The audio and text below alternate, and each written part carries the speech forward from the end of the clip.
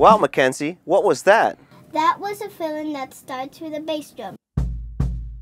Cool. It sounds great. Can you slow it down for us?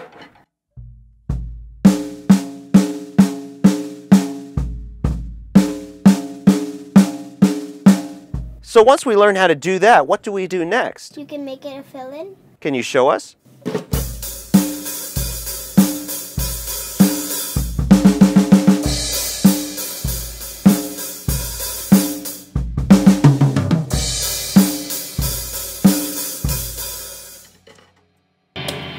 was a fill-in that started with a bass drum. Keep on drumming, God bless you.